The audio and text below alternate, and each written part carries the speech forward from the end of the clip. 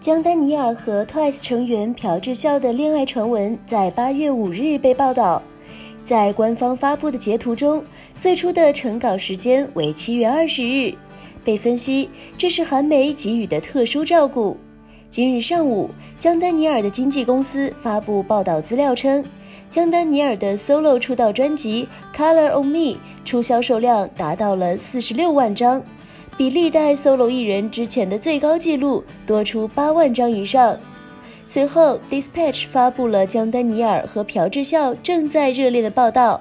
Dispatch 考虑到江丹尼尔的 solo 出道专辑的发行，才推迟了报道的发布时间。